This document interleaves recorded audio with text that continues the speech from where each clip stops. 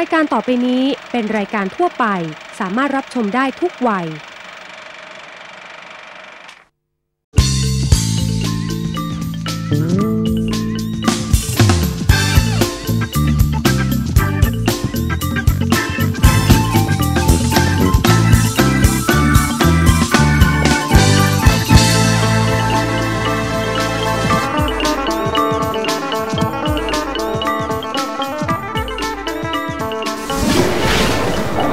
ดีค่ะ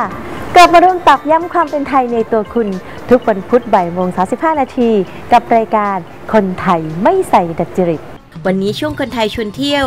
ร่วมตอบคำถาม ลุ้นรับบัตรที่พัก และบัตรรับประทานอาหารจากโบตานิก้าเขาใหญ่ มูลค่า 12,000 บาท 5 รางวัลค่ะ อย่าลืมนะคะ กดดอกจัน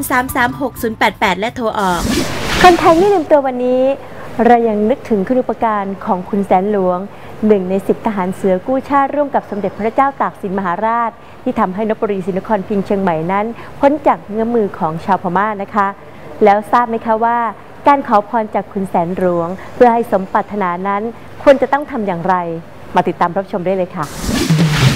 ช่วงคนไทยไม่ลืมตัว สนับสนุนโดย Toyota Fortuner ประสบการณ์ที่เหนือกว่าสไตล์ชีวิตที่เหนือใคร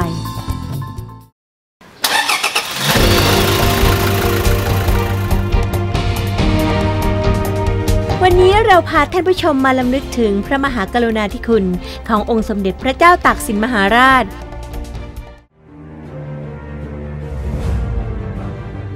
วัดแสนหลวง มีเรื่องราวที่เกี่ยวข้องกับเวียงหวาก นับตั้งแต่ปีพุทธศักราช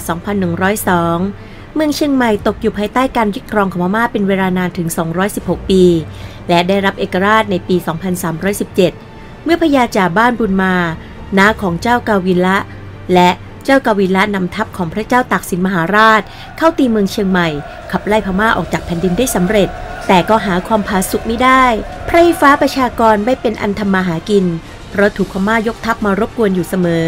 ซ้ำยังขาดแคลนเสบียงอาหาร จึงอพยพผู้คนถอยร่นจากเชียงใหม่ มาตั้งรับค่าศึกที่เมืองร้าง ที่มีชื่อเรียกว่าเวียงหวาด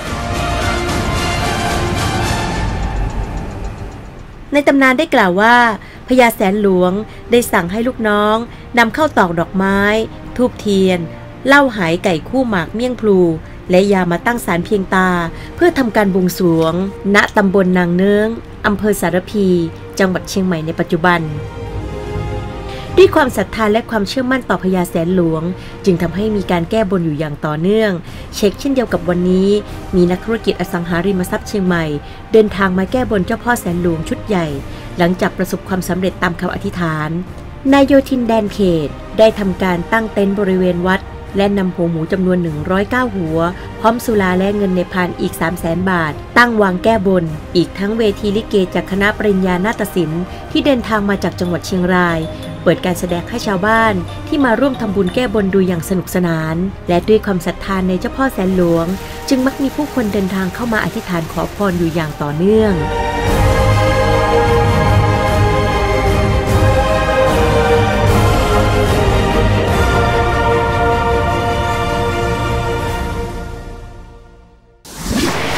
ทยไม่ทิ้งกันวันนี้อีกขอเชิญชวนท่านผู้ชมมาร่วมทำบุญให้กับเด็กต่างด้าวที่ได้โอกาสที่ติดตามพ่อแม่มาทำงานตามไซต์ก่อสร้างในกรุงเทพค่ะ ช่วงคนไทยไม่ทิ้งกัน ร่วมสนับสนุนโดยการบินไทย รักคุณเท่าฟ้า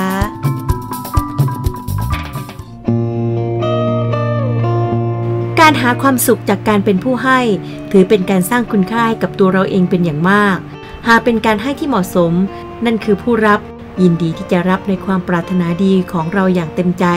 โดยที่ผู้รับจะรู้ถึงคุณค่าในชีวิตของตัวเอง ที่มองเห็นว่าตัวเองยังมีความสำคัญ อีกทั้งผู้ให้ยังคงได้เพิ่มพูนคุณค่าชีวิตให้กับตัวเองด้วย ง่ายๆกับตัวอย่างในวันนี้ ครูหยิกขนใจน้องๆต่างด้าว ที่อยู่ที่ไซต์ก่อสร้างของมูลนิธิสร้างสรรค์เด็ก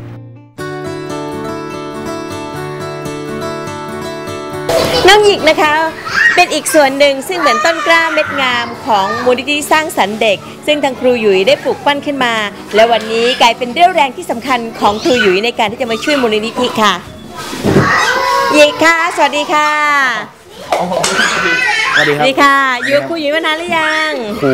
เขาเลี้ยงผมมาตั้งสิบกว่าปีสิบห้าปีมั้งมีเด็กอีกหลาย ๆ คนที่มีความรู้สึกว่าคิดท้อแท้น้อยใจกับโชคชะตาชีวิต แต่น้องหยิกไม่เป็นอย่างนั้นเพราะอะไรอะ ก็เพราะว่าถ้าเกิดเราเราคิดว่าถ้าเกิดเราไปเสียใจกับเรื่องราวพวกนี้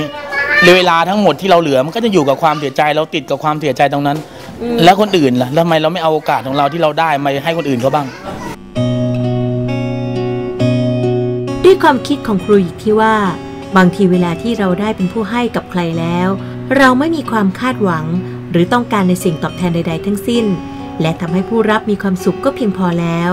เพียงแค่คำขอบคุณ ที่ได้รับจากผู้รับก็มีความสุขแล้ว เพราะเมื่อไรที่เราคิดนอกเหนือจากนี้ ย่อมนำมาซึ่งความผิดหวังจากความสุขของการเป็นผู้ให้เราจะเห็นศิลปะที่วาดบนผนังทั้งหมดที่เป็นลายมือหยิกทั้งหมดเลยเหรอจ๊ะครับทุกอย่างเราวาดหมดเลยคุณจิ๋วเขาต้องการให้มีทุกนี้ตามผนัง เพราะว่าเวลาเขาย้ายตามไซต์งานเนี่ย มันต้องซื้อพวกเนี้ยมาติดติดติดอืมจนเขาบอกว่า วาดลงไปเลยเดียวไหมไม่ต้องซื้อ ลงทุนทีเดียว เขาเลยบอกให้ผมวาดลงไปหมดเลยทั้งในทั้งบ้านทั้งหมดนี่เลย คนเดียว แล้วอาชีพหลักของเราจริง ๆทำอะไรตอนนี้ จริง ๆ แล้วผม ก็ยังก็ถือว่าเป็นผู้ชายที่ยังไม่ประสบความสำเร็จในชีวิตนะแต่เราเอาเวลาที่ไม่ประสบความสำเร็จในชีวิตเนี่ยเราเอาไปทำเพื่อคนอื่นดีกว่าเพราะว่ามันไม่ใช่ทุกคนหรอกที่เกิดมาจะต้องประสบความสำเร็จในชีวิตอะ ผมเชื่ออย่างนั้นนะมีเด็กเขมรกี่คนคะที่นี่โอ้โหเด็กเขมรหมดเลยมั้งครับ ประมาณ 20 กว่าคน25 คน หมดเลย 30 คน แล้วเด็กเขมรตอนนี้เขียนภาษาไทยกันได้หมดทุกคโอ้นไหมโหเก่งต้องบอกว่าเขาเก่ง ฟังหยิกพูดแบบนี้แล้วนะคะทำให้เราอยากจะมาดูนะคะ กิจวัตรประจำวันของหยิกตั้งแต่เช้าจดเย็นเนี่ย สิ่งที่เขาทุ่มเทให้กับสังคม ให้กับคนรอบข้าง ให้กับสิ่งที่เขาไม่มีโอกาสจะได้รับ แต่ทุ่มเทกับผู้อื่นนั้น หยิกทำอะไรบ้าง ตามไปชมกันค่ะ ดังดังโชว์เพื่อนหน่อยดาจะตีกูดีดาจะตีกูตั้งแต่มาแรกๆเราก็อ่านภาษาไทยไม่ได้เดี๋ยวนี้พัฒนาจนอ่านได้นะให้เด็กทุกคนเนี่ยท่องอย่างน้อยเด็กกลางทุกคนต้องห้องเอถึงแซได้ก่อน จากนั้นก็ต้องกอไข่น้องฮูต้องได้ จากนั้นก็เริ่มหนึ่งถึงหนึ่งถึงยี่สิบ ไปจนหนึ่งร้อยนี่สิ่งที่เราต้องทำถ้าเราทำตรงนี้ได้ทุกคนแล้วเนี่ย ต่อไปเรื่องการบวกเลขเขาก็จำเลขได้เนี่ยเขาก็จะทำได้เขาจะบวกเลขได้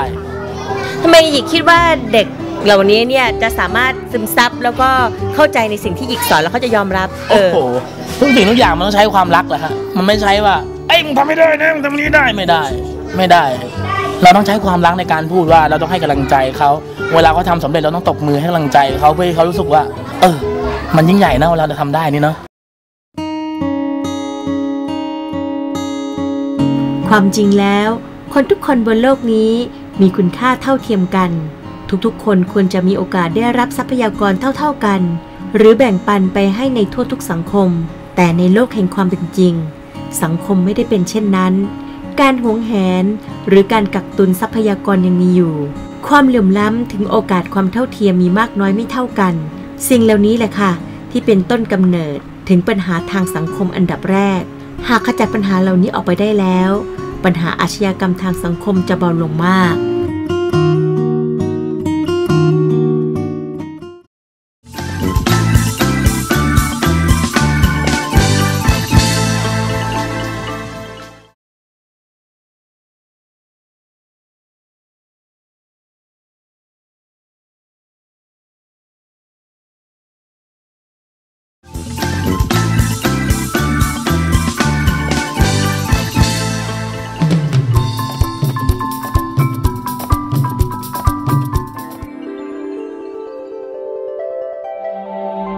วัดศรีดอนมูล ตำบลชมพู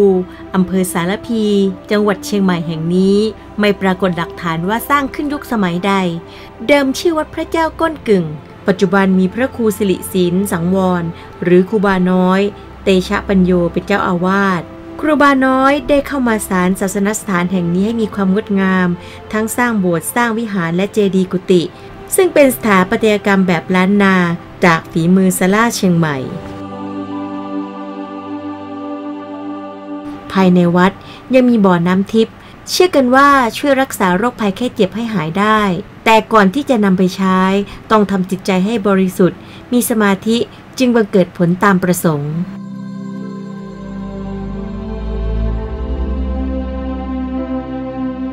ภายในวัดของครูบาน้อยนี่นะคะ จะมีพระปรมัยไอสวน ซึ่งเป็นพระที่เรียกว่าหาได้องค์เดียวในประเทศไทยนะคะ ส่วนใหญ่ไม่ค่อยมีใครรู้จัก เพราะว่าพระที่หน้าเหมือนเป็นภาพเขมรที่ปั้นรูปทรงนี้ไม่ใช่พระนะคะแต่เป็นพระอีสวนค่ะ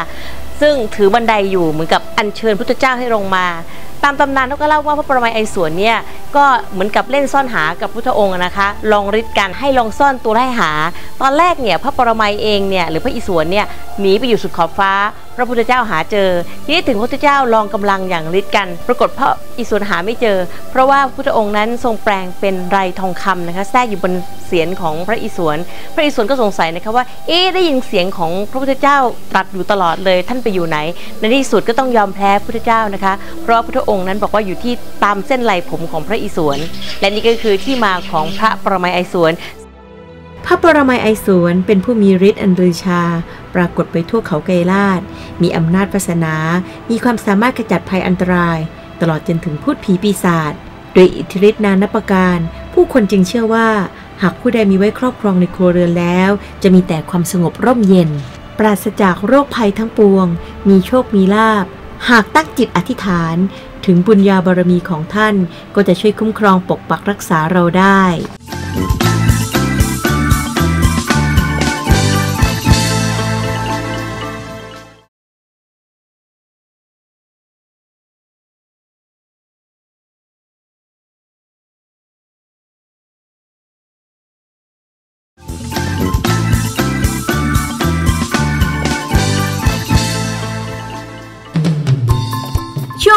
หัวใจเกษตร ร่วมสนับสนุนโดย ปุ๋ยรุ่งอรุณ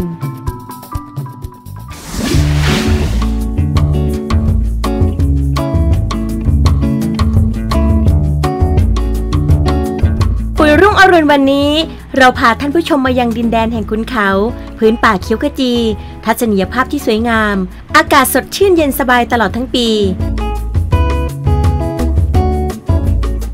วันนี้เกษตรประท่ากับปุ๋ยลูกอรุณ พาท่านมาสัมผัสภูทับเบิก ซึ่งเป็นอีกภูหนึ่งที่จังหวัดเพชรบูรณ์ซึ่งมีอากาศที่หนาวเย็นตลอดทั้งปีหนาวนี้ขอเชิญมาเที่ยวภูทับเบิกกันนะครับ นอกจากจะได้เห็นบรรยากาศสวยๆ ของกระลำมาทานสตรอเบอรี่ แล้วก็มามาดูทุ่งซากุระบานนะครับ บนภูทับเบิกภูทับเบิกเป็นหมู่บ้านของชาวเขาเผ่ามงบนภูเขาสูงของจังหวัดเพชรบูรณ์ ในตำบลวังบานอำเภอหล่มเก่า ห่างจากตัวเมืองประมาณ 100 กิโลเมตร ชาวมงที่นี่มีอาชีพทำการเกษตร นิยมปลูกกระหล่ำปี ซึ่งมีการจัดสรรที่ดินทำกินในการปลูกกระหล่ำปีหลายพันไร่บนยอดเขาสูงทำให้ช่วงฤดูฝน จึงมีกระหล่ำปีเจริญเติบโตและลานตาเต็มภูเขา โดยเฉพาะในช่วงเดือนกรกฎาคมถึงเดือนสิงหาคม และเดือนตุลาคมถึงเดือนพฤศจิกายนของทุกๆ ปีแปลงกระหล่ำที่ท่านเห็นนี้นะฮะเกษตรกรใช้ปุ๋ยรุ่งอรุณสูตร 28 12 8หรือ 15 5 20 ซึ่งจะทำให้ผลผลิตของกระหล่ำดี หัวโตผลผลิตสูงนะครับ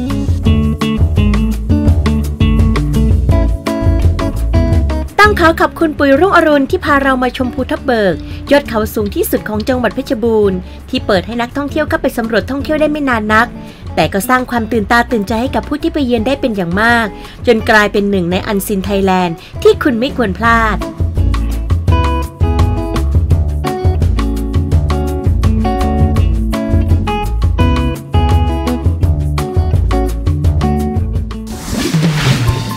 คนไทยชวนเที่ยวร่วมสนับสนุนโดย บัตรกดเงินสด KX Plus Cash มีไว้อุ่นใจให้คุณยิ้มได้ในทุกช่วงโอกาสของชีวิต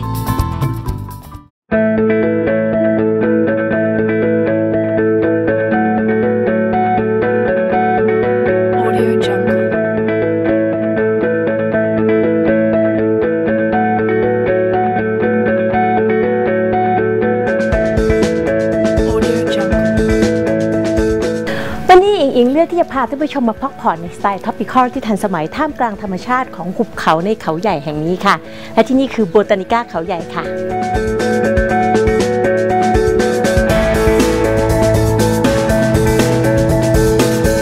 ค่ะวันนี้ทางเราได้เลือกห้องพังพูให้กับคุณอิงนะคะ ขอให้คุณอิงมีความสุขในการพักผ่อนค่ะ ขอบคุณค่ะ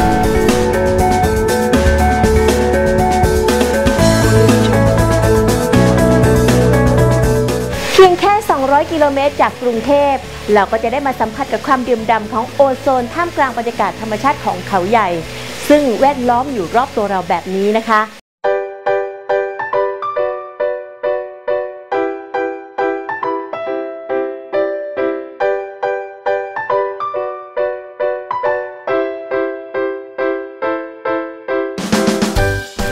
มาพักผ่อนกับครอบครัวนะคะ แต่ขาดฟิตเนสไม่ได้ ที่นี่บริการฟิตเนสและห้องซาวน่าให้ด้วยค่ะ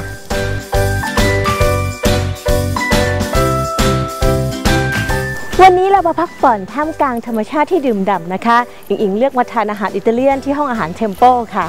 ห้องอาหารเทมโปเป็นห้องอาหารสไตล์อิตาเลียนในโบตานิก้าเขาใหญ่นะคะ เรามาดูกันค่ะว่าวันนี้เขาจะเอาอะไรที่เป็น signature มาเสิร์ฟให้กับท่านผู้ชมค่ะ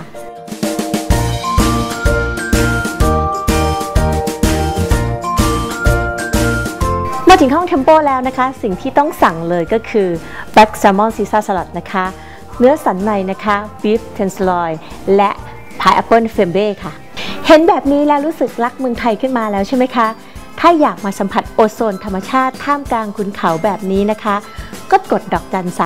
336088 แล้วโทรออกฝากคำตอบที่ถูกต้องไว้นะคะ อิงอิงบัตรที่พักจากโบตานิก้าเขาใหญ่ให้ 5 รางวัลรางวัลละ 12,000 บาท แล้วสัปดาห์หน้ามาพบกับรายชื่อผู้โชคดีค่ะ เห็นบรรยากาศแบบนี้แล้ว อยากมาสัมผัสกับธรรมชาติ ท่ามกลางขุนเขา และแหล่งผลิตโอโซนที่โบตานิก้าเขาใหญ่แล้วใช่ไหมคะ ไม่ยากค่ะ เพียงแค่คุณกดดอกจัน 336088 แล้วโทรออก ฝากคำตอบที่ถูกต้องไว้นะคะ สัปดาห์หน้ามาพบกับรายชื่อผู้โชคดีทั้ง 5 ท่าน ที่จะได้มีโอกาสมาสัมผัสบรรยากาศแบบ topical modern style แบบนี้ที่โบตานิก้าเขาใหญ่ค่ะ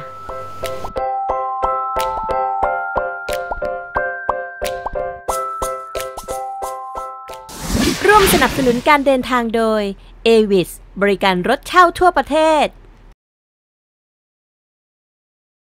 เฉลยคำถามจากสัปดาห์ที่แล้ว จังหวัดเพชรบูรณ์มีกี่อำเภอคำตอบที่ถูกต้องคือข้อ 2 11 อำเภอ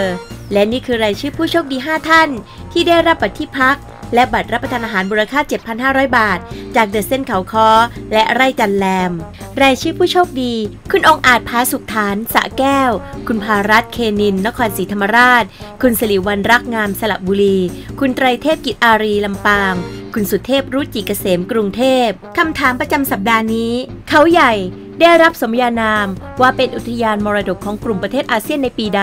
ข้อ 1 2505 ข้อ 2 2506 ข้อ 3 2508 วันนี้ช่วงคนไทยชวนเที่ยว ร่วมตอบคำถามลุ้นรับบัตรที่พัก และบัตรรับประทานอาหารจากโบตานิก้าเขาใหญ่ มูลค่า 12,000 บาท 5 รางวัลค่ะ อย่าลืมนะคะ กดดอกจัน 336088 และโทรออก ตอนนี้อากาศบนเขาใหญ่กำลังหนาวเย็นได้ที่ อิงก็เลยนำความสุขมาพร้อมเสิร์ฟให้ถึงบ้านนะคะ วันนี้มีบัตรที่พักจากโรงแรมโบตานิก้าเขาใหญ่ให้ 5 รางวัลนะคะ รางวัลละ 12,000 บาท ง่ายๆค่ะ ร่วมตอบคำถามเข้ามาที่ดอกจัน